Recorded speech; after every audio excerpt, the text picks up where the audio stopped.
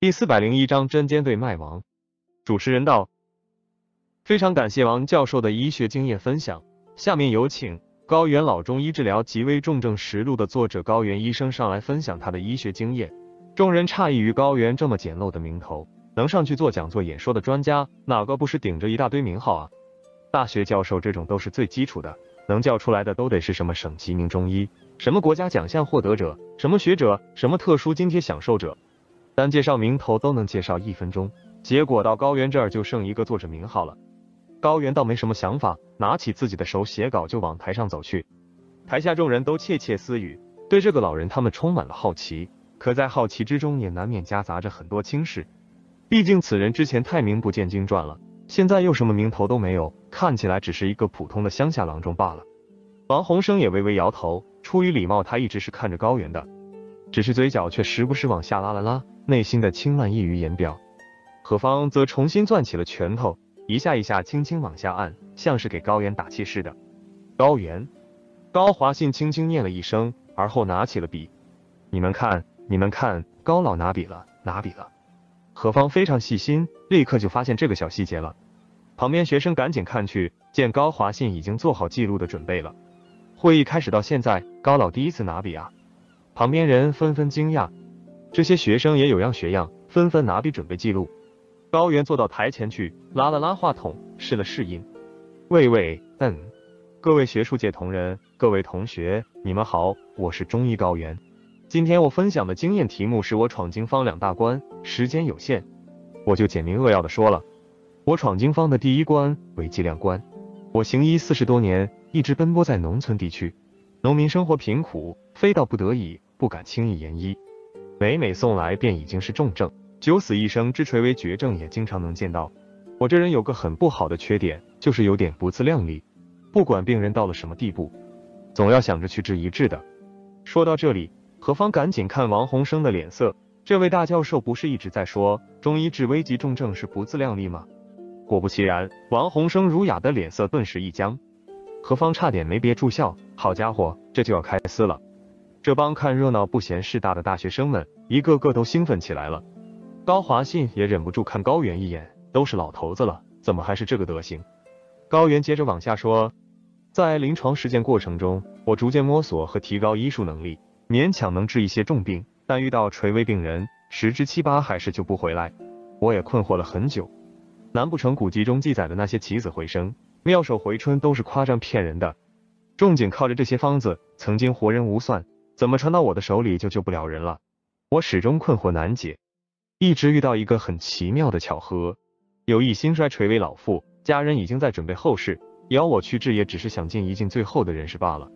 老妇已经神志昏迷，面露死气，脉象似有若无。按照我的经验，基本上是救不回来了。我就留下了三剂人参四逆汤，已尽最后余力。单剂的附子用到了一两半，按照现在的剂量换算，也就是四十五克。因为家里在办丧事，杂事很多，负责煎药的儿媳早忘记我的嘱托，慌忙之时竟把三副药全煮了下去，然后又去忙别的事情。等回来之时，才发现三副药已经煮的不剩多少水了，已经是很浓的药汁了。本着花了钱就不能浪费的原则，他就拿着这一碗药汁，一小勺一小勺喂给婆婆。一碗喝完，差不多半个小时，老妇就醒来了，知机所食，次日便能下床行走，如此。又活了十八年，也因此使得我不得不重新思索剂量问题。高原说的非常简单平淡，可台下听的人全是一懵。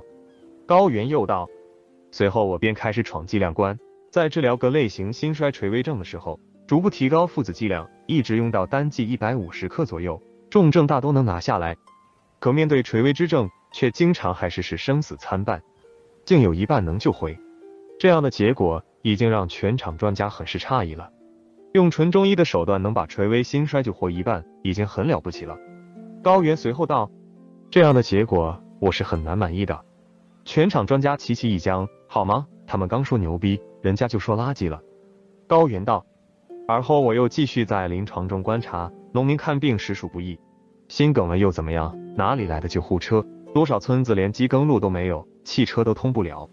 他们倒想送去大医院急诊室，那也得有啊。”他们能选择的只有中医，所以中医绝不能辜负人民的选择。王洪生嘴角微微抽搐，人家这是明着对他了。刺激！大学生们八卦之火熊熊燃烧。高原道，农民都信任我，垂危症也都是送到我这里来，也给了我继续观察和治疗的机会。而后我发现这些心衰病人衰竭的不仅仅是心脏，而是全身阴阳气血都在散失。人参四逆汤只能回阳，却守不住散失的全身阴阳气血。这个时候我又引入了张锡纯的来复汤，用山萸肉固脱，挽救五脏气血脱失，收敛父子回收之阳气。龙母二药固肾摄精，固守元气。后加入活刺石维系阴阳，麝香急救醒神。如此，在遇此等垂危病人，像古籍所载必死的七绝脉，或者大医院放弃治疗的垂死病人，只要是心跳未停，一息尚存者，那就回之术已有十之八九。这便我闯计量关的经历，也是我自创就新方的来历。听到心跳未停，一息尚存，就可救回十之八九。会议场内终于绷不住了，全场哗然，大专家们都坐不住了，学生们更是齐齐激动。他们一直幻想的不就是小说中的活死人、肉白骨吗？可是，可是这是真的吗？王洪生突然间有点慌乱。若高原说的是真的，那他折腾了这么多年的中医治疗、慢性病的研究，可就要白瞎一半了。那他的研究可就不再是主流研究了。忙活半生，难不成要毁在这个老头身上？你十之八九的数字，你怎么得到的？你怎么来证明？王洪生竟不顾体面，站起来询问了。高原往外指了指，我听说会议后有临床病人的研讨，一试便知。我素来重视实践，不喜欢古代如一那般崇尚空谈。王洪生差点没骂街，他的外号就是如一。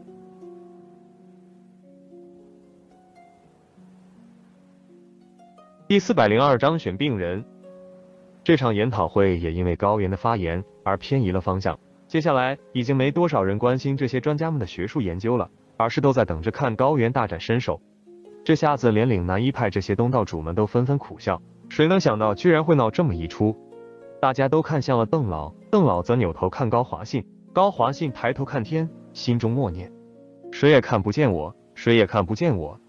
高原把剩下的稿子讲完，他闯的第二关就是毒菌关了，讲了一大堆猛药毒药的超级量使用，把眼前这帮人给震得一愣一愣的。台下的学生们则是兴奋了。现在正是武侠小说、武侠影视最热的年代，所以高原也因为这次讲座又多了一个外号“毒医”。高原下台之后，这些专家都不知道该不该鼓掌，而旁观的学生们却是拼命鼓掌，有几个显眼包甚至开始呐喊尖叫，场面一度非常热闹。接下来要讲课的专家可就悲了催了，哪里还有人愿意听他们嘚吧嘚呀？他们在上面讲，这帮学生在下面聊，好几个专家脸都绿了。主办方紧急商议了一下，觉得这样下去不行。于是就把原定在明天的疑难症会诊时间内容挪到下午了。吃完午饭之后，这些专家就去医院了。这个改动倒是让大家都挺满意的，毕竟现在大家的目光都在都在高原身上。牛皮不是吹的，火车不是拉的，是骡子是马要拉出来溜溜才行。午饭后，一行人轰轰烈烈去医院。这些学生自然不能全跟去，不然医院可就被他们挤满了。但何方这几个有工作牌的学生可就兴奋了。因为他们是可以跟着一起去的，一下子这几个人都吃香起来了。旁边同学拉着他们，要求全程给他们发短信直播治病情况。反倒是身处漩涡中心的高原依旧非常平静，收拾完东西就去吃饭了。邓老还特意去问他：“高大夫，病人的资料你要先看一看吗？”好，高原没有拒绝邓老的善意。邓老让人把病历给高原，高原翻阅起来。邓老又询问。有没有什么困难和疑虑？要是有困难就跟我说，可以给你换成你擅长治疗的那类疾病。毕竟我们是做学术研究，不是搞期末考试。高原却道：“对我来说，这就是一场大考。对中医来说，同样如此。”邓老微微一怔，而后颔首。中医境况已经极为窘困，一头埋在养生调养和治疗胃病领域出不来，整个行业都像是被人砸断了脊梁一般。高原收起病历，他道。中医人不怕困难，怕的是看不见希望。邓老问：“你想怎么做？”高原道：“有垂危的心衰病人吗？”邓老微微一滞，他道：“你真要挑战这个？”高原道：“你是怕我失败？”邓老不言。高原洒然一笑，说：“我若失败了，丢人现眼的我，与整个中医界并无什么损失，只是多了一个不自量力的老头罢了。”邓老看高原的眼神都不一样了。高原也看向邓老，况且我也不会败。邓老被高原的狂言弄得心中一震，治病救人哪里来的万全把握？哪怕是一代名医，也很可能折在小毛病上面。他不由问道：“为什么你有这么强的自信？”高原郑重回答：“因为我的背后站着的是万千尚无医保的普通群众。”邓老缓缓点头，而后转身让人联系医院。午饭后，大家去往附属医院。王洪生不远不近在高原后面跟着，他就盯死了高原了。到了医院，大家直奔会议室。其他疾病都已经不能勾起众位专家的兴趣了。大家只想看高原起死回生的手段。素来儒雅的王洪生教授更是忍不住说道：“我看高原大夫已经寄养难耐了，不然让高大夫先来展示展示，我们也好跟着学习。”大家看王洪生，而后又齐齐看高原。好啊，高原淡然答应。邓老看了高原一眼，又转头问高华信：“高老，你怎么看？”高华信还挺幽默：“怎么看？当然是瞪大眼睛看了。”既然所有人意见都统一，那就没得说了。邓老安排人直接上大招。医院的正副院长点开病人资料说：“现在有个心衰病人，我们已经下了病危通知书，本来是准备下午出院的。既然咱们专家团都来了，医院就跟病人家属商量了一下，让他们多留了一会儿，大家看看资料。”众位专家心中微微一沉，这就是一个典型的大医院放弃治疗的垂危病人，病情怕是已经到生死一刻的程度了。副院长介绍道。这个病人姓吴，五十五岁，患有风湿性心脏病十二年，顽固性心衰五年，心功三级，近五年大部分时间都是在医院里面度过，情况一直很不好。我们来医院治疗已经一个月了，但情况一直在恶化，急性心衰合并室颤，心率到二百一十二次每分钟了。病危通知已经发了，病历和治疗情况都在上面，大家看看。单听副院长的介绍，众人就忍不住啧舌，都这样了。中医还能救回来吗？虽说在座诸位都是中医专家，但面对已经到这般地步的病人，他们心中还是没有把握。甚至有个专家忍不住道：“应该早一点让中医干预治疗的，要是在刚开始的时候就介入，我想情况不太会恶化到这么严重的地步的。”王洪生也道：“这就是要发展中医治胃病学科的意义，上攻就其萌芽，把疾病消灭在细小萌芽时，才是最优的选择。”其他人也点头。而高原看完病历，说：“病人在哪？带我去看看。”这边请。副院长伸手请人。高原起身出去，随即一大专家都跟在了他身后。何方等学生更是一边发短信，一边兴冲冲跟在最后面。远在学校里面那班精力过剩的学生们，更是头碰头挤在一起。在得知高原选择了一个即将病危出院的病人之后，小伙子们都热血沸腾了，一个个在宿舍里面嗷嗷叫。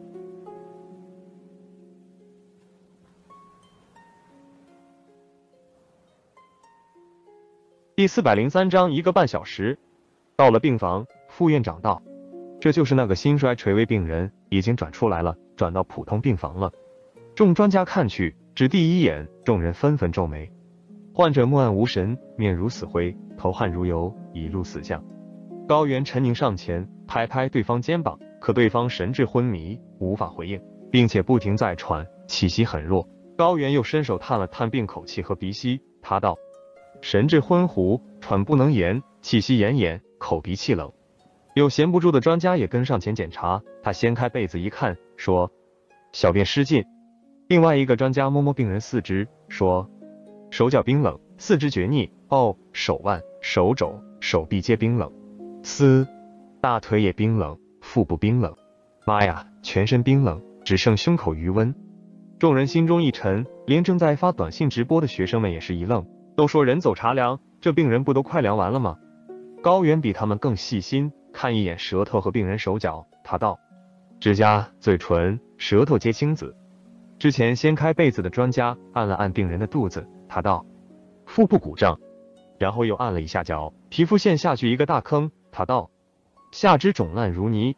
王洪生频频皱眉，他见病人还在吸氧，又看一眼监护器，问：血压多少？主管医生摇头。已经测不到了，众人纷纷无语。好吗？怪不得要病危出院，这是已经到大限了，能不能活过今晚还是一回事。那是应该要出院的，好歹能死在自己家里，总比死在医院里强。连邓老听了也忍不住嘴角抽抽，他问高大夫：“要不换个病人？”大家反倒都在看王洪生，毕竟是这两人针尖对麦芒。王洪生道：“别看我，我没意见。”邓老也微微颔首。王洪生气量还是很大的。再说了，他可能也觉得拿这个病人来考验高原，有些太过离谱了，所有人都看不下去了。副院长立刻说：“那行，那我们去看下一个病人。”谁知高原并不接受他们的好意，他道：“医学是有限的，治不了所有的病，但医者的心是无限的，不该放弃任何一个病人。”众人齐齐一怔。何方忍不住道：“高老师都这样了，还能治？”高原松开了病人的手，他道：“已经测不到脉象了，寸口脉如游丝，好吗？那还治个嘚儿？”高原又去病人脚部诊断下三脉，也只剩下太溪根部微弱可辨，其他两脉也很难分辨了。果然是棘手万分。高华信扭头看邓老，邓老看副院长，副院长一摊手，摆出很无辜的样子，仿佛在说：“是你让我给整个大的。”邓老闭上了眼睛。诊断结束，高原缓缓站起。转身看着众人，他道：“患者此刻命悬一刻，性命垂危，五脏绝症已见其三，周身被重重阴寒围困，值此生死一线之际，当以大毅力破阴回阳，斩关夺门，方有回天之力。”见高原真开始了，大家全部一惊。高原看向振奋的何方，他道：“何方同学？”道：“何方几乎是跳起来的。”高原问：“我见你一直在看我的书，我的救心方会背吗？”会，何方毫不犹豫点头。高原道：“帮我开方。”好。何方赶紧夺过纸笔，刷刷写了起来。高原道：“父子用之二百克，其余不变。”写了一半的何方愣是打了个哆嗦，抬头看一眼高原。待看见高原那坚定无比的眼神，他咬了咬牙，接着往下写。多少？王洪生忍不住打了个哆嗦。其他人也以为自己听错了。现代父子用量标准还是在九克以内，这尼玛是超了多少啊？高原接着往下说，加沉香粉三克，油桂三克，冲服。云苓则泻各三十克，纳气归肾，利水消肿。副院长无奈看邓老，他道：“这剂量我可担不起。”邓老是仔细读过高原著作的人，知道对方就是这风格。他看向高华信，高华信跟高原认识几十年了，对他非常了解，他没有犹豫便点了点头。邓老对副院长道：“我签字，走我的处方出去。”好吧，副院长只得答应。见何方已经写好处方了，高原又道：“无火急煎，随煎随灌。”这，副院长又迟疑了。高原问他：“这也有问题？”副院长道：“我们很少开急煎方的。”高原立刻明白了，无火急煎适用的是急救，没有中医急救，哪里来的无火急煎？何方却道。没有问题，药方抓好药送这里来就好，我去解决其他的东西。好，高原答应。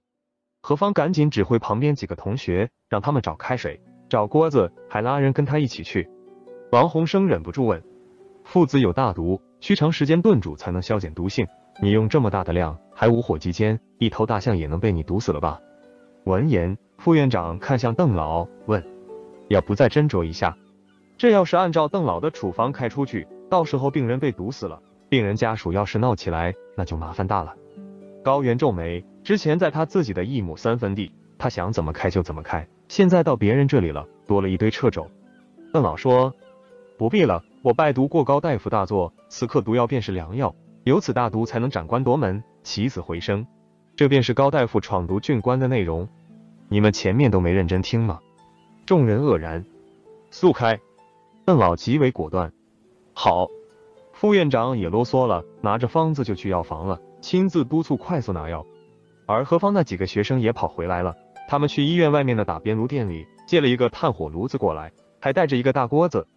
何方跑得呼呼冒汗，脸也被炭火灼得通红，可他还是非常兴奋。他道：“我们实习的时候都是去这家店改善伙食的，跟老板熟得很，借个炉子一点问题没有，很好。”高原不得不称赞这几个小伙子。他们把炉子放好，何方拿着扇子拼命的扇，其他同学把锅子架上去，开水倒进去，很快就报废了。药材也拿上来了，倒进去一通爆煮。高原道：“少量瓶瓶灌服。”护士们，你看我，我看你，没人敢上前。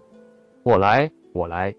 何方把扇子给旁边同学，撸着袖子拿着小碗，他道：“这是店里调蘸料的小碗，不知道有没有洗干净，凑合用吧。说完，他拿着店里的汤勺，跟打边炉似的，舀了一勺子汤进入，赶紧吹了吹，降点温就往病人嘴里灌。其他同学也有样学样，舀一点出来，赶紧降温给病人灌服。这帮学生忙个不停，在学校里面蹲守的那帮精力过剩的同学们则快疯了。啥情况呀？怎么没有短信传回来了？一个个急得恨不得拿脑袋撞墙。高原抬手看了一眼手表上的时间，道：“继续灌，不要停。”大家的心不由悬了起来。王洪生眉头皱得很紧，邓老仔细盯着病人病情的变化。全场只有高华信面无表情，非常淡定。继续，别停。高原语气催促。学生们累得满头大汗，被炭火烘得面红耳赤，但却是兴奋极了。也只有心怀理想的他们，才愿意陪着高原疯狂这一把。看着这些年轻学生如此狂热的模样，这些专家心中动容。曾几何时，他们不也是这样的少年吗？只是现实和岁月的蹉跎，让他们变成现在这样漠然的样子。加油！一位专家突然说了这么一句：“加油！”另外的人也喊了起来，而后众人齐齐鼓劲，加油声不绝于耳。王洪生看看左右，再看病人，他也轻轻咬住下唇。真的可以救活吗？约莫十分钟，高原摸了摸病人的身体，他道：“阳回了。”病人开始回暖，继续灌，不要停。什么？众专家皆吃惊。一人上前一摸，见真开始回暖了，他兴奋的一个转身，大喊道：“你们这帮小子，让让，让老夫来！老夫手脚麻利。”他卷起袖子就要去帮忙，结果一不留神绊在人家脚上。比哎呦的一下，冲撞进人群里面了，丢人了，丢人了！专家捂脸。又五分钟后，高原摸摸病人手脚，他道：“手足回温，阳回绝腿。”而后又摸摸病人身体和观察了病人呼吸，他道：“暴汗收敛，喘息安定。”一群人全挤上来看，学生们也呆住了。一个小时后，病人苏醒，知其所食，心率降至一百次每分。一直守在病人床前的高原，终于放下心中大石。他对学生们道：“病人脱险。”只是简单的四个字，全如同山呼海啸一样冲进所有人的心里。学生们更是兴奋的欢呼起来，调料碗都甩飞了，短信也不发了，直接电话打过去报喜。而后学校里面这些学生也一个个都疯狂了，宿舍楼都快承受不住了。王洪生愣了好一会儿，才看手表，一个半，一个半小时。邓老长出一口气，展露笑颜。他道：“高大夫，佩服佩服。”高原道：“您客气了。”邓老又问：“那接下来要怎么治？”高原道：“扩大战果，元方再开三剂，三小时服一次，昼夜连服。”多多少？只要是已经做好心理准备的邓老也忍不住打了个磕绊。高原问：“没听清？”听清了。邓老有些哭笑不得。我只是担心药房的附子够不够你用的。高原只是微微笑笑，他道：“上个厕所，人老了憋不住了。”说罢，高原转身，众专家皆目送其离去。一专家说：“此次之后，他必然名扬天下。”另外一个专家惊叹道：“乡野村医竟有这般回天神力，自叹不如，自惭形秽啊！”高华信遥望高原的背影，他淡淡道：“乡野村医。”其实他早该名扬天下了，你们只是不知道他曾经做过什么。众人看高华信，高华信目中露出追忆之色。王洪生心神大乱，已经说不出什么话来了。萦绕在他脑海里面的就只剩下中医两个字。何方则是看向高原离去的方向，看向了你属于未来的光亮。次日下午，病人水肿消退，心率降至八十二次每分，已能下床。后拄拐出院。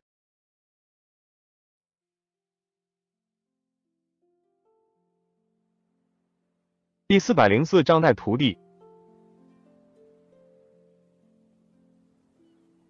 总的来说，我是个幸运的人。解放后，我在首都上了大学，大学里学的是文学，看起来跟医学关系不大。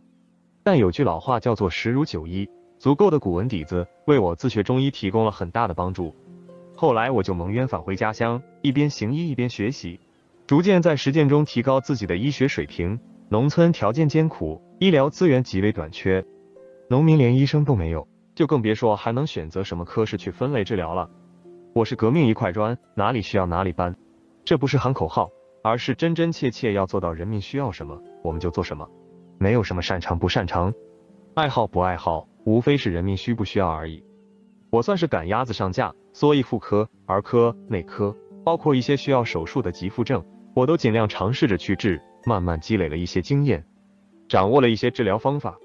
自学中医第六年，我摸索出了两个方子，一个就是你们看到的救心方，治疗被重重阴寒围困、阴阳离散的濒死病人，需要用到大量附子破阴回阳；另外一个方子就是攻毒汤，此方是在大黄牡丹皮汤基础上加减而来的。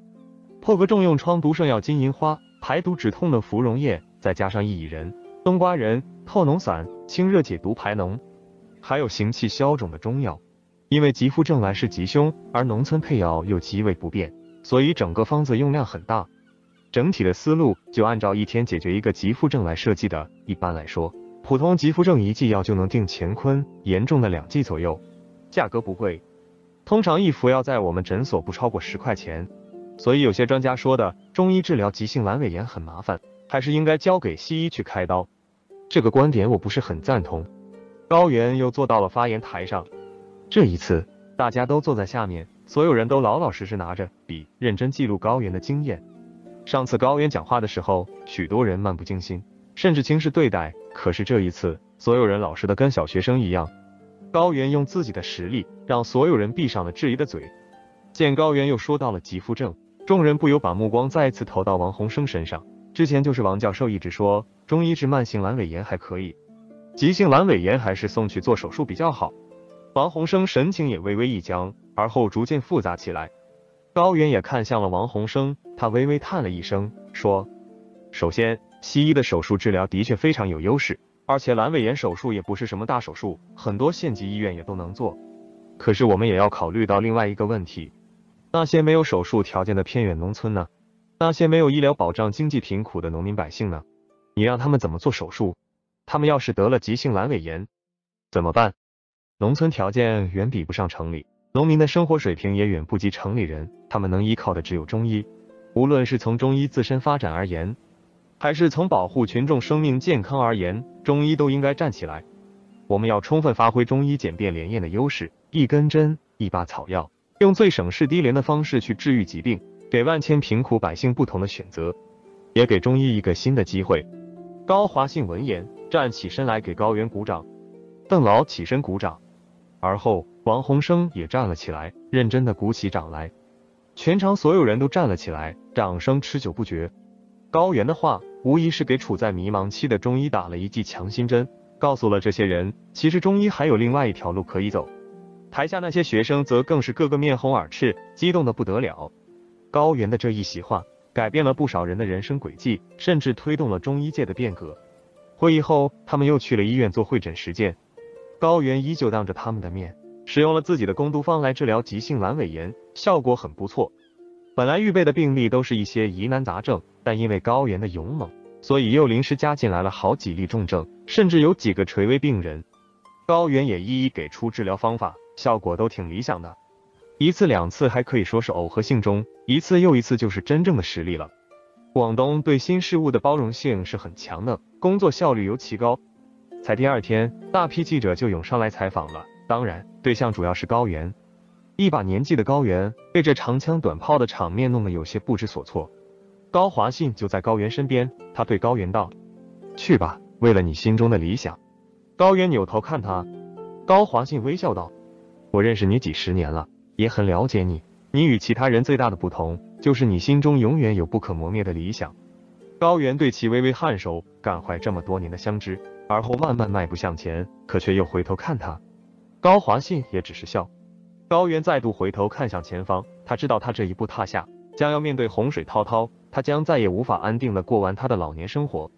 他这一把残躯将要丢进柴堆里面燃烧干净。高原洒然一笑。而后用力迈步向前。翌日，报纸上铺天盖地都是高原的报道。研讨会也到了尾声。这次研讨会最大的收获就是发现了高原这位奇才。各个专家跟高原攀谈了起来，已经有好几位想要邀请高原去他们那儿了。邓老也找了高原。高大夫，请坐。来，来杯茶。您客气。高原也非常客气。邓老道。这次过来招呼不周，还请见谅。高原连连摆手，他道：“已经很好了，我这个乡野村夫哪里见过这么好的环境？这几天都吃胖了。”邓老也笑了。高原看了看对方，他直接问道：“邓老，您要是有什么想说的、想提的，请尽管开口。”邓老道：“那我就不绕圈子了。我非常敬佩高大夫你的医术水平，还有你治疗危急重症的能力。哎，想必你也清楚现在中医界的环境和情况，年轻一代很迷茫。”水平也跟不上来，我们是看在眼里，急在心里。我们搞研讨会也是因为这个，为了培养这些年轻医生，我们想借着研讨会来邀请一些有能力的中医，帮我们带一带这些孩子。所以，不知道高大夫意下如何？听到要让自己带徒弟，高原却突然沉默下来了。见高原不说话了，邓老把眉头皱起来，他问：是有什么不方便吗？是涉及医学秘方还是什么的？高原道：“对我而言，没有什么秘方不秘方的。您看过我的书，应该知道我不怕别人学会，我怕的是他们学不会。”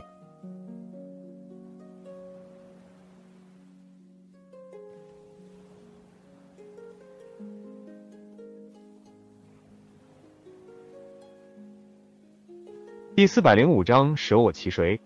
听到这里，邓老笑了：“这你放心，我们特意选择过的。”都是很有想法也很有能力的年轻人，这样，要不你先看看，或者你有别的人选也可以提。好，高原点头答应。邓老对门口喊：“进来吧，我知道你们这群小子就趴在门上偷听。”嘿嘿，门打开，几个年轻小伙子有点不好意思的站在门口。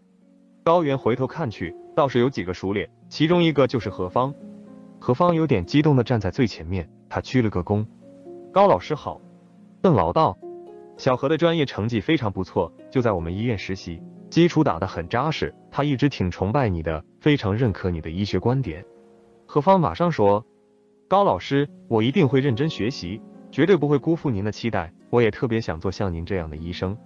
其他人纷纷开口向高原表达自己内心的想法。高原听完他们的话之后，神色不为所动，反而有些不是滋味。他道，我的东西难的不是方子学不学得会。也不会理论能不能理解，而是你们的心境能不能够得上用这些方子。几个人，你看我，我看你，没弄懂。何方壮着胆子问高老师：“什么是心境配方子？不是根据病人病情来选择方子吗？”邓老看向高原，然后又看这些孩子，目光微微有些沉重。高原压了压手：“别站着了，找个地方坐吧。”大家又看邓老，邓老对他们点点头。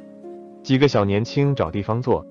高原道：“跟你们讲个真实的医案吧。”几个小年轻赶紧点头。高原道：“有这么一个病人，女，二十二岁，患肝血痨三年多，双肺空洞型肺结核，病危出院。雷瘦脱形，四肢枯细，体重锐减二十公斤，骨蒸潮热，昼夜不止半月余。双全咽入桃李，口苦，舌光红，无苔而干，食少，肝可能饮，脉弦而数。前医用清谷散加龟板。”黄芩同便为治。几个小年轻有些不明所以，邓老却已经皱眉了。高原也在观察着几个年轻人，其中有个年轻人见高原不说话，他主动问道：“高老师，这个处方是有问题？”何方思索了一下，问：“老师刚才特意说双全咽若桃李，是不是有带阳症的特征？”高原看他，刚才询问的那个年轻人却说：“可病人昼夜皆骨蒸潮热。”这明显是重阳无阴，所以脸红也有可能是肺痨的表征。况且病人的脉象也是数脉。高老师，我是不是说错了？高原摆摆手，放心大胆说，讨论的时候不怕错，大胆的把自己的想法和见解说出来，就算说错了，那也是一次很好的改正和提高的机会。嗯，年轻人点头，大胆阐述自己的观点。痨病一般都是因为阳火灼阴，火炎水结，真阴消烁。综合病人的情况来看，我觉得这个方子应该是对症的吧。说了半天，他又有点不确定了，于是又看高原，其他学生也看高原。高原往下说，病人服用一次之后即不思饮食，睡前服用二煎泻稀便，黎明之时恶逆频频，大汗厥逆，面如死灰，喘不能言，脉未欲绝。啊！几个小年轻都是一惊，刚才说话的小年轻也是一愣，他还说是对症。这一剂下去，人都快死了。高原道，前一位服了他一碗参汤，而后送到我这边来。我以当西纯是来复汤和参附龙母救逆汤，就杨固脱、红参附子皆用到了三十克，干姜也用到了二十克，是心热燥烈的大剂之方。而用于脸阴的，也不过是山萸肉一味药而已。就像这个同学说的那样，古之医家皆认为痨病是因为阳火灼阴，火炎水结，真阴消烁。物质不可怕，可怕的是在病人生死一刻的时候，你敢勘破重重迷雾，用这样的大心大热的造烈方子吗？如果救回来了，那自然皆大欢喜；如果没有救回来，找你麻烦的可不仅仅只有病人家属。且不说中药化验机构，就连中医同行都不会站在你这一边，因为他们也不一定会赞成你们的治疗方案。年轻人们顿时哑口无言。高原语气渐变得有些伤感。妻子回生，妙手回春，听起来是多么美好的词。可常在河边走，哪有不湿鞋？我们无非是在走钢丝而已。这些年我的确救了很多垂危病人，可同样的，还有很多病人是我救不了的。我们那边农村人都很淳朴，哪怕物质了，也不会去找麻烦。没救回来，他们也只会觉得命该如此。可城里不一样，尤其是你们这样的大城市，都能把神圣无比的同志两个字污名化，还有什么事情是他们干不出来的？走我路者，须有菩萨心肠，才可行霹雳手段；须有舍得一身剐，需要有一心复救的决绝勇气。需要有不顾个人利益安危的大无畏精神，才能在生死一刻之时果断用方，力挽狂澜。这些你们做得到吗？几个小年轻都呆住了，而高原则更伤感了。他想到了这个肺痨病人，也想到了严巡。在严巡给他的那张纸条上，他看到了雷兽脱形，四肢枯细，体重锐减二十公斤，还有双拳艳若桃李。他就知道严巡已经明白自己物质在什么地方了。就像高原说的那样，物质不可怕，可怕的是物质之后医者不能挽回。最可悲的是医者明知道如何挽回，可却不敢挽回。最让高原难过的就是他知道严勋有这个能力，可严勋却永远失去了这个勇气。也是在那个时候，高原才觉得自己的东西彻底失去了传承。如果没有一心复旧的精神，他教再多的方子和理论都将是空谈。见几个小年轻已经不敢说话了，高原也没有怪他们。他只是意兴阑珊的挥挥手，平和的说：“没关系。”而后高原站起来要往外走，刚打开房门，却见王洪生站在门口。高原微微一怔，王洪生看着高原，他恭敬的鞠了一躬，道：“老师，我叫王洪生，是一个中医，我想向您学习。我相信我有这个决心，可以学到您大医精诚的精神，一心复就绝不考虑个人得失。”高原这次真愣住了。他真的没想到王洪生会来这么一出，连邓劳也意外极了。何方就站在高原身后，他也大声道：“老师，您还记得您在我书上留下的寄语吗？菩萨心肠，霹雳手段，复兴中医，舍我其谁？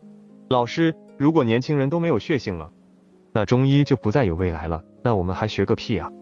高原回头看去，见一张张朝气蓬勃的脸庞。复兴中医，舍我其谁？复兴中医，舍我其谁？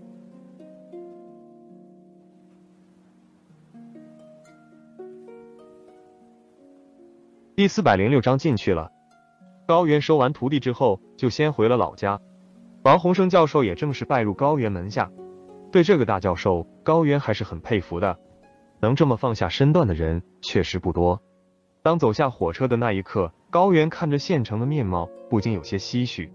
广州一行。让他感觉自己似乎是在梦中。南方大城市的包容和发展，确实不是他们这样的小县城能比的。走在县城的路上，看着人来人往，高原脑海中不断浮现这些年经历的种种，最后也只能喟然一叹。走着走着，高原抬头才发现自己已经走到了中医院的门口。高原望着县中医院的大门，看着这个他一手创建的中医院，一时间怔住了。他已经很多年没来这里了。这个医院虽然是他创建的。可惜遗憾的是，并没有走向他所期望的方向。离开的这几年，高原不知道这个医院变成了什么样子。有心想走进去再看看，可到了门口，高原却又踌躇了。哎，里面怎么停了一辆警车？高原听到旁边人的谈话，也顺着他们的目光看去，见里面真的停了一辆警车，而且还亮着警灯。警车旁边站着不少正在窃窃私语的医护人员。正当高原疑惑的时候，就见几个便衣警察。把一个戴着手铐的人从楼上带了下来，高原定睛一看，随后便是浑身一震，是严巡。高原快速上前几步，看的也更真切了，真的是严巡。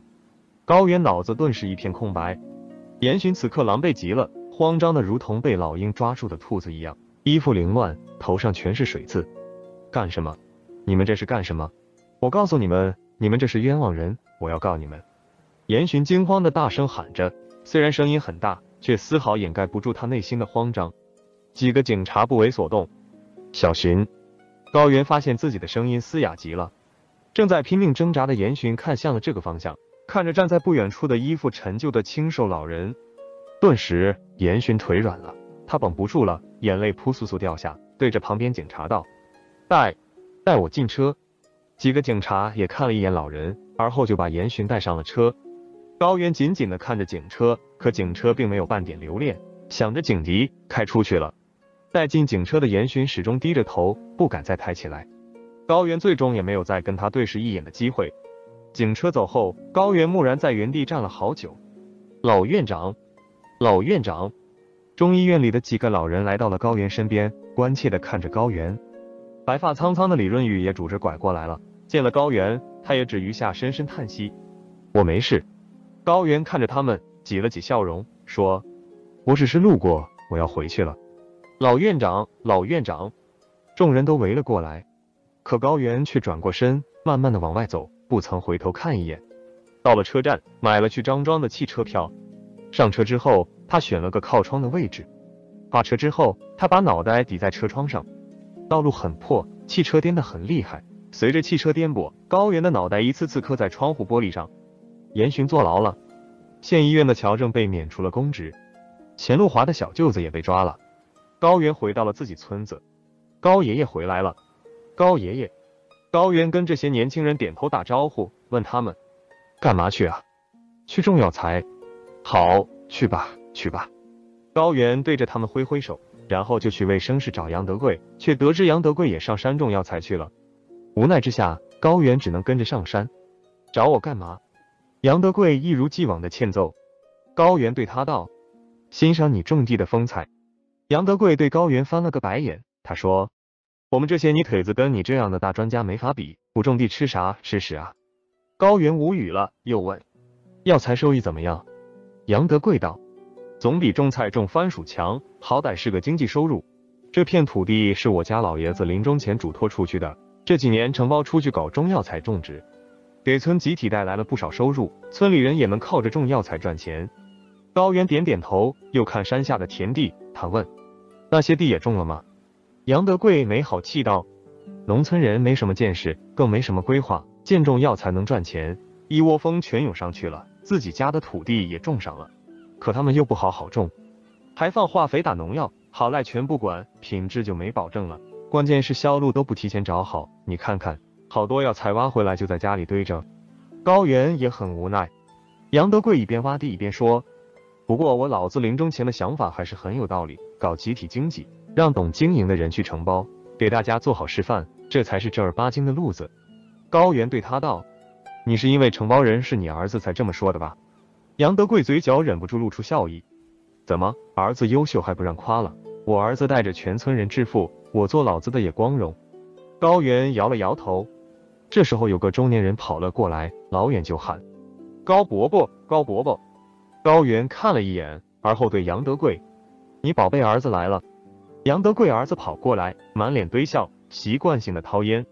高伯伯抽，杨德贵劈头盖脸就骂：“抽什么抽？你高伯伯从不抽烟，你也少抽点，肺都熏黑了。”杨德贵儿子一脸悻悻。杨德贵又骂他：“撒欢跑过来干嘛？吃了蜜蜂屎了？给村里人药材销路找好了吗？一点屁事都做不好，乐颠颠干什么？发神经啊！”杨德贵儿子叫屈道：“啊，他们销路关我什么事？”又不是我让他们种的，再说了，他们的东西又不好，你让我怎么卖？杨德贵举起手就想打，让你干点事，唧唧歪歪那么多干什么？这里哪个不是你的乡里乡亲？你当初是说好要带乡亲们致富，才让你承包这么多土地的，你现在想撒手不管？我没有，我这不是找高伯伯问办法吗？杨德贵儿子看向了高原。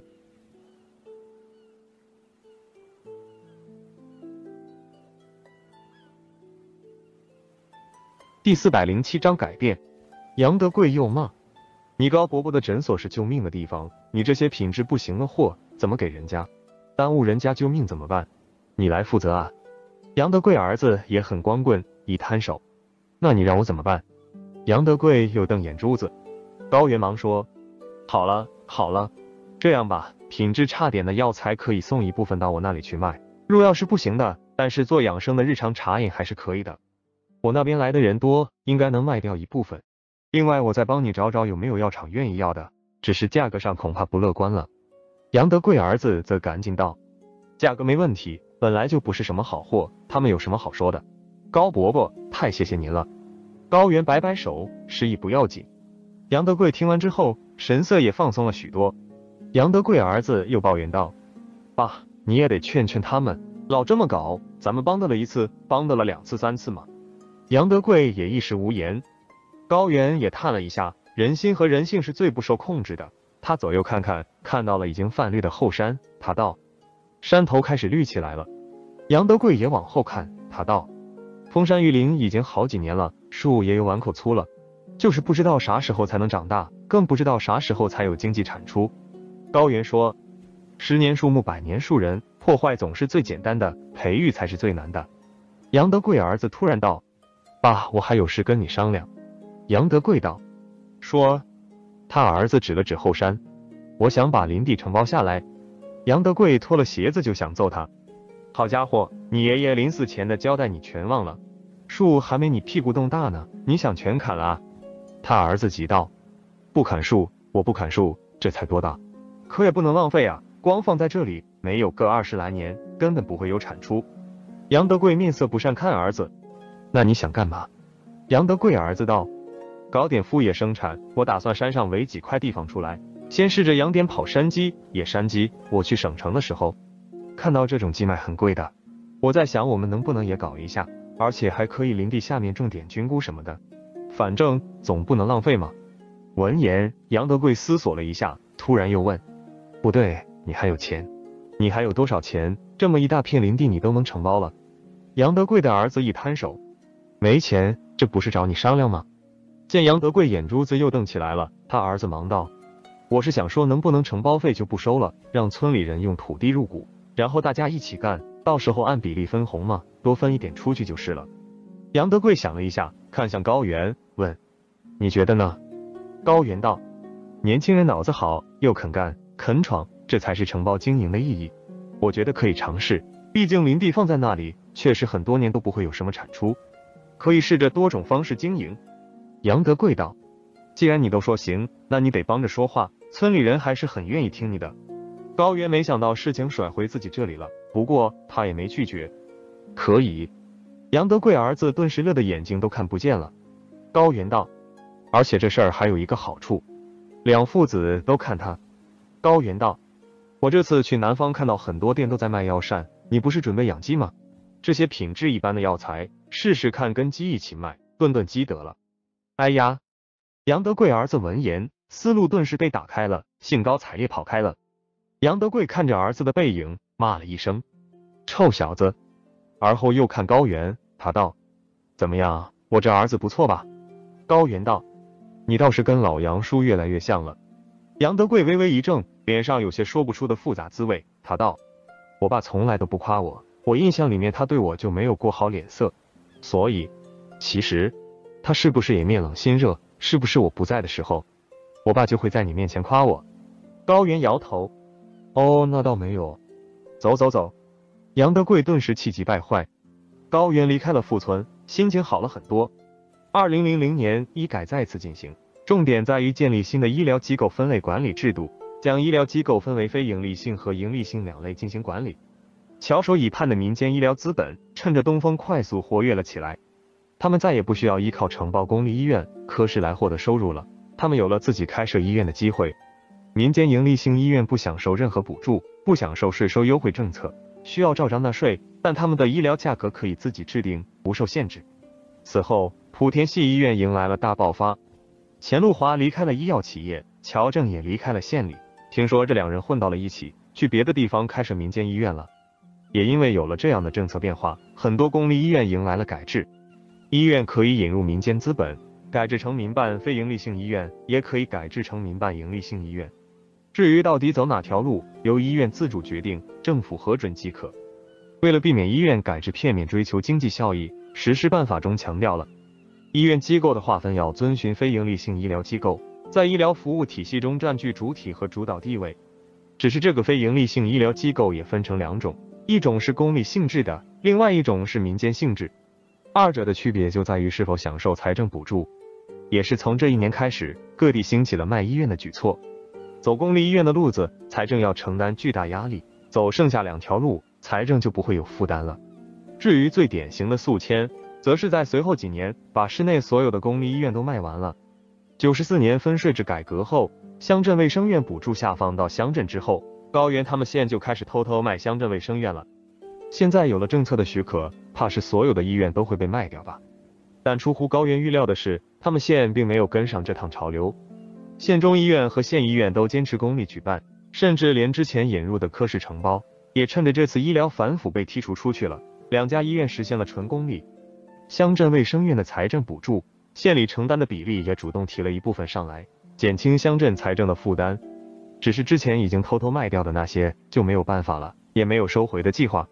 现在政策放开了，张庄卫生院的牌子被拿了下来，原先暗搓搓放在旁边很多年的沈氏骨伤科专门医院的牌子被挂到了最上面，张庄卫生院的牌子反而放到了下面，两块牌子的位置实现了调换。沈从云在医院门口看着高高悬挂的沈氏招牌，怅然出神了许久。而高原在这样的背景下二次南下。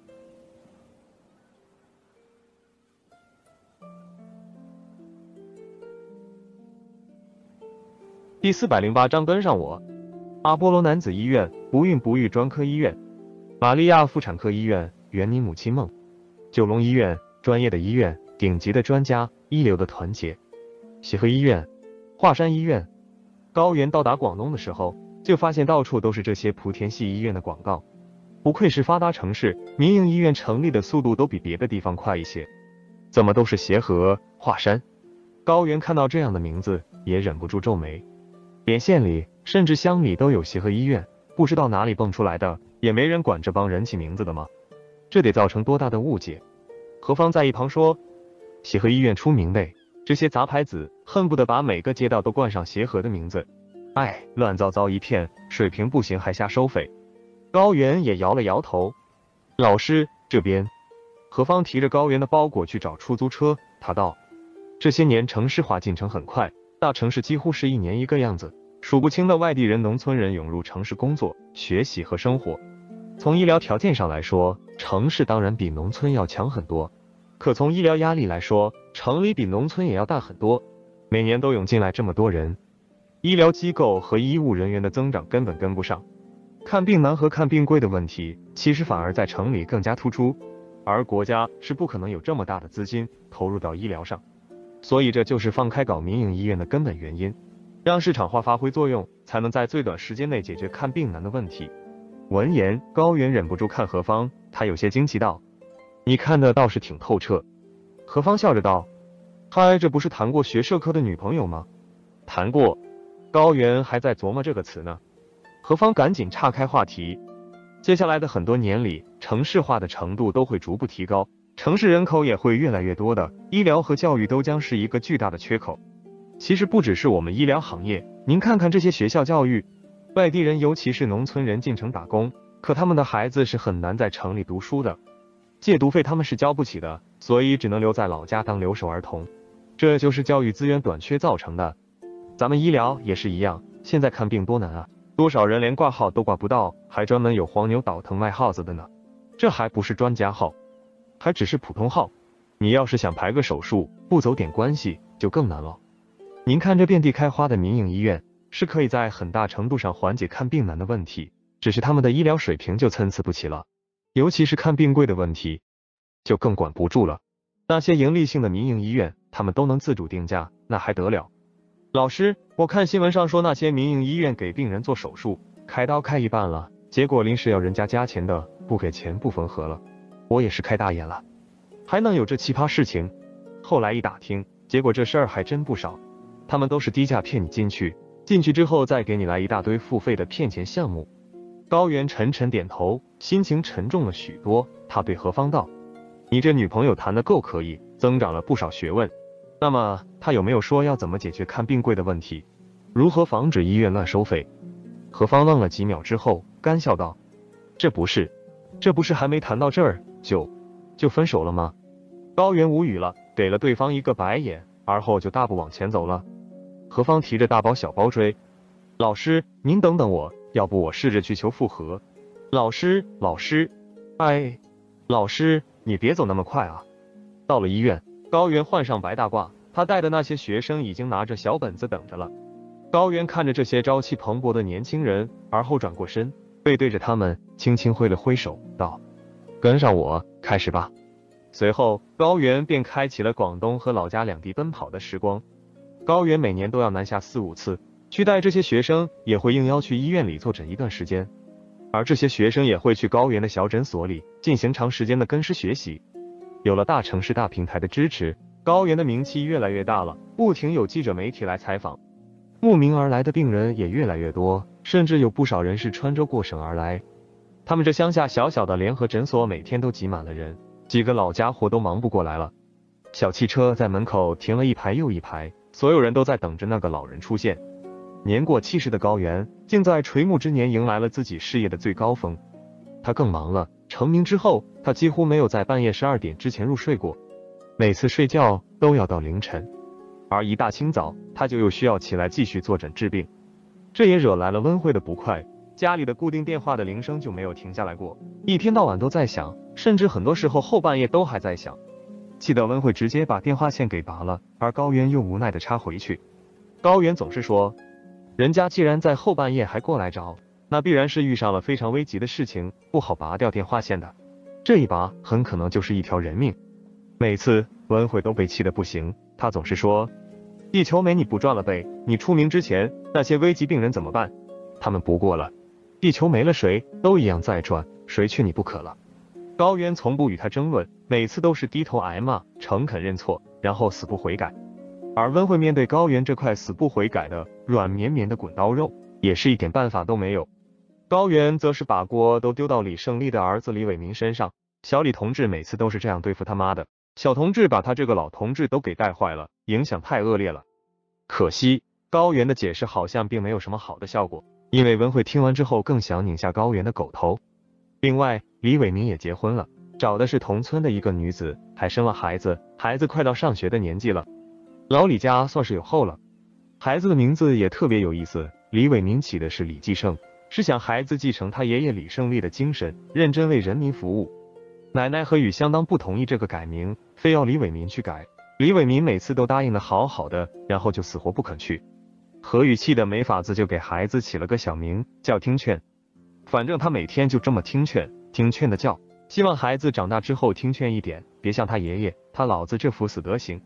因为高原的出名，也因为联合诊所的爆红，旁边的沈氏骨伤专门医院也受到了影响。跟沈从云决裂多年的沈氏兄弟，也有了跟沈从云和好的想法。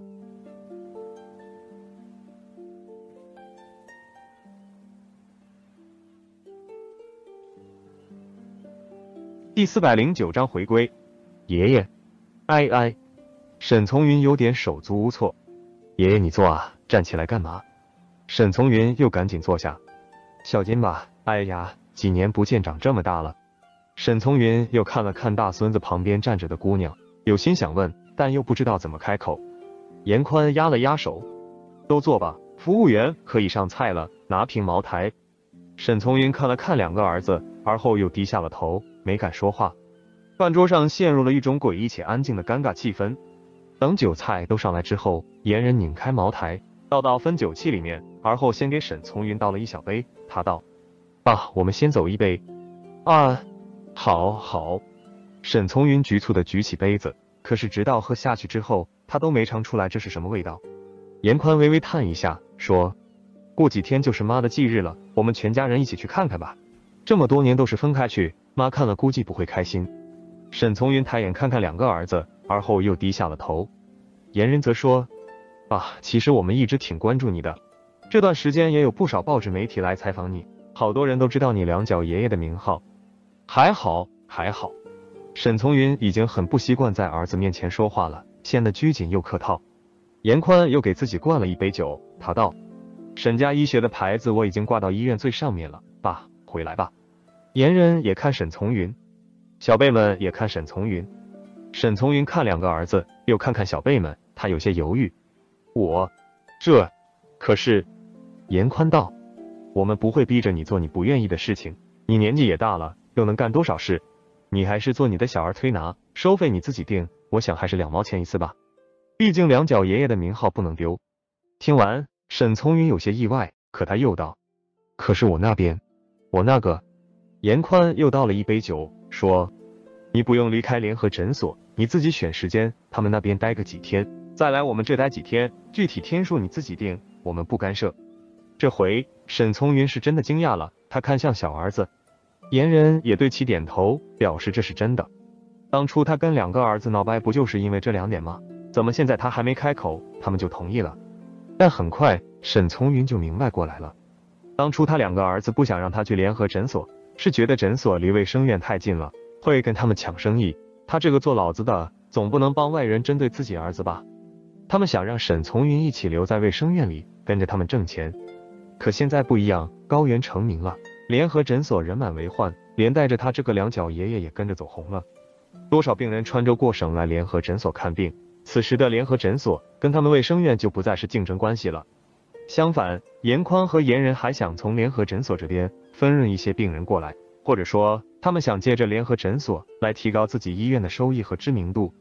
而最好突破的点就是沈从云，所以这就是他们同意沈从云两头行医的原因。说的更准确一点，他们现在更希望沈从云两头行医，这样才能把他们医院跟联合诊所拉上关系。在不了解内情的外人看来，甚至会以为这两家单位其实是关系密切的一家人。沈家两兄弟的医院挂的是骨伤的招牌，而这个门类联合诊所里面做的是很少的，所以他们之间已经没有尖锐的竞争了，所以才会有今天这个父子和好的饭局。沈从云全想明白了。可真等想明白了，沈从云心里却挺不是滋味的。一方面，他都这么大年纪了，不仅没有成为子女的负担，反而能给他们带来很大的助力，这让他觉得自己至少不是一个无用的人。可另一方面，当初父子决裂是因为两个儿子认为自己影响了他们的利益，现在他们来和好，也是因为自己现在能给他们带来更好的利益。来也是利益，去也是利益，全然没有说到亲情，这让沈从云不免觉得心中凄凉。见沈从云始终不曾说话，严宽看向儿子，对着小金颔首示意。小金带旁边的女孩站起来，他道：“爷爷，刚才忘记跟您介绍了，这位是素素，我们快要结婚了。”沈从云愕然抬头看着他们，反应了几秒钟之后，他下意识便在身上摸索起来，可摸了几下，手却突然顿住了。按照道理来说，他第一次见人家姑娘是应该给人家见面礼的，可他没准备。可就算他准备了。他也给不出什么来，一把年纪却身无长物，竟没什么能留给后辈子孙的，这让沈从云突然难过起来。严宽把酒杯推到沈从云面前，他说：“小金结婚的时候，你还得做主桌呢。爸，回来吧，为了孩子。”沈从云颤抖着手举起杯子，酒不停洒出来，他努力挤出笑：“好，好啊。”沈从云回了医院，在两家单位来回跑，每周在联合诊所待四天，在医院待三天。而沈家兄弟也把沈从云的名字挂在了专家栏的最上面，并且在找报纸打广告。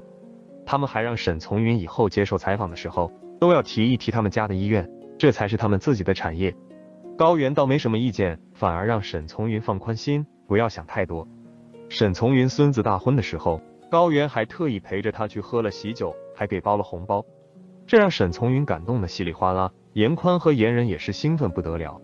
他们特别想邀请高原去他们医院坐诊，还让高原尽管开条件，只是高原拒绝了。高原告诉他们，他愿意来喝喜酒，是给沈从云面子，不是给他们俩面子。这让两兄弟颇为尴尬，可也无可奈何。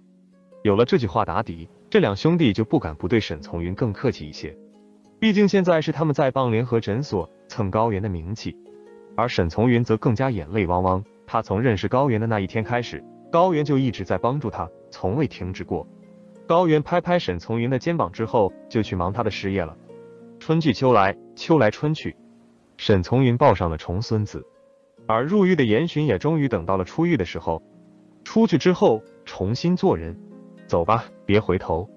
严巡有些踉跄的出来，刺目的阳光晃得他睁不开眼。他左右看看，根本看不到来接他的人，他只得又把头低下来，蹒跚着走到路边上，裹紧了身上单薄的衣服。明明现在天气舒爽，可他却感觉很冷。他慢慢在路沿上坐了下来，低着头，眼泪止不住的掉下来。老婆已经跟他离婚了，孩子也从没有来看过他。他寄出去的信每次都被退回来，说是无人接收。他也不知道老婆孩子去了哪里。入狱之后，他不仅失去了事业，也失去了家人。一把年纪的他，惶惶然如同丧家之犬。尽管出狱了，可他却不知道有什么地方是他能去的。一想到这里，严勋止不住的悲伤难过。他用力的抠着自己的手，划痕一道又一道，泛出鲜红的破碎感。干嘛想自残？突然有个声音在头顶响起。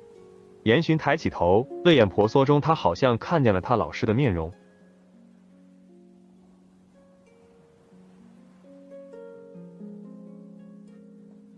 第四百一十章万般皆是命。高原看着严巡，心里也难受的紧。不过五十来岁的年纪，却已经满头白发，形容枯槁，脸颊深深凹陷，布满了纵横交错的皱纹和挥之不去的颓废。短短两年，严巡的状态竟还比不上他这个老年人。老老师，严巡结巴了，他努力的睁大眼睛，想看清眼前的人，可他又不敢睁得太大，因为他怕自己看错。哎。高原沉沉一叹，听到这熟悉的叹声，严勋赶紧起身，可枯瘦的身子已经站不直了，总是半佝偻着。他紧张的看着高原，而后又羞愧的低下了头。高原问他：“没人来接你？”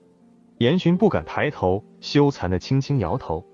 高原看看四周，他说：“现在知道什么是过眼云烟、因果循环了吧？你以为的光芒万丈、繁花似锦，可没有人民作为基石，那就比电影光幕还要虚幻。”呜呜！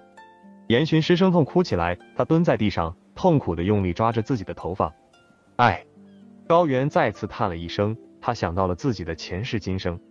前世他汲汲营营，最终还是落得个二进宫，家人也因他受了牵连。今世他努力做人民的医生，也才有了今日的局面。高原看严寻，心中稍柔软了一些，他道：“也怪我忙于各种杂事，疏于了对你的管教。”让你在时代的浪潮里面忘了自己的初衷，这一点我这个做老师的也有责任。老师，我知错了，我真的知错了。严寻抱着高原的大腿，放声痛哭起来。高原心中更难受了，眼眶也湿润了。这是他的大弟子，也是陪着他走过最多年头的徒弟。他对严寻的期望，甚至比自己亲儿子还要高。看着严寻一步步走到万劫不复的地步，高原又怎么会不难受？他的心几乎跟刀割一般。不知道多少个日夜，他都在责怪自己。抚着严寻的满头华发，高原心疼的说：“怎么白了这么多头发？”严寻哭了好一阵，才渐渐停歇。高原没有车，他带着严寻，提着包裹，两人慢慢往外面走。走了几公里，才到有人烟的地方。高原在路边上找了一家小饭店，要了两碗面，跟严寻吃着。高原问严寻：“接下来什么打算？”严寻小声说：“不，不知道。”高原又问他，要去找孩子吗？严寻沉默了好一会儿，才说，他已经不想理我了，是觉得有我这个父亲很丢人吧？我，我很想他，可我不敢去找他。高原看着门外，一时间也不知道该说什么好了。过了一会儿，他才道，你李叔过世这么多年，你有去看过他吗？严寻道，没，没敢去。高原道，吃碗面，先带你拜祭你李叔吧。闻言，严勋有些紧张的抓着筷子，而后胆怯的轻轻放下。爷俩再次启程，坐了公交车，然后去汽车站转车，一直到下午才到了李胜利的坟墓前。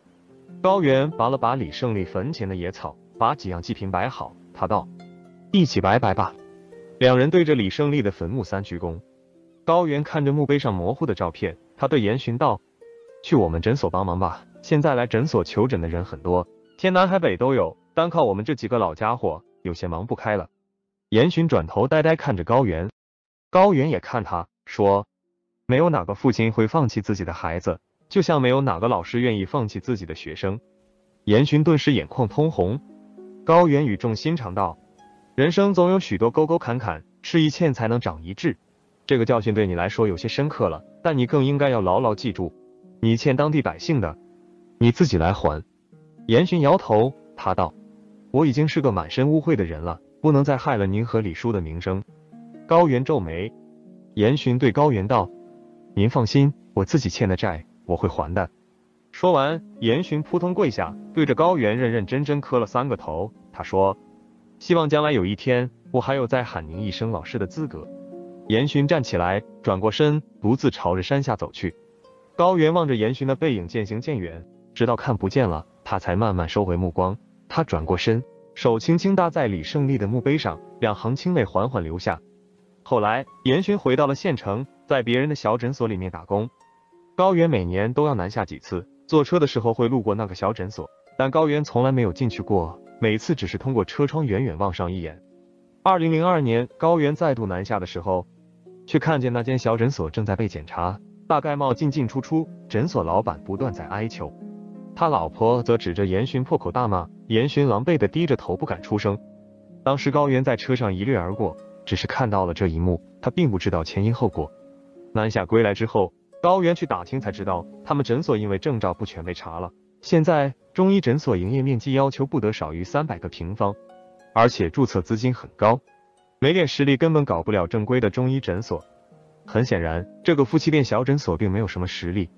老板老婆骂严巡也是嫌他没用，一点有用的关系都找不到，害得他们被查都没办法。又说严巡不肯好好为他们挣钱，就知道开便宜药。高原到的时候，严巡已经离开了，高原也不知道他去哪儿了。年底的时候，高原接到万金良的来信，才知道严巡去了霍乡，在一个废弃的牛棚里面开了一个小小的中医诊所。看完信后，高原内心久久不能释怀，可最终也只能余下一声叹息：万般皆是命，半点不由人。过年，高原打电话。让万金良给在牛棚行医的严巡送了一碗饺子过去，但没让万金良说是他让送的。二零零三年二月十日，高原接到了何芳的电话：“老师，过年好，我有问题想请教您。”说，高原应了一声。何芳道：“我们这边有医院出现了一个挺奇怪的肺炎，已经有不少医务人员被病人传染了。”肺炎，高原微微一怔，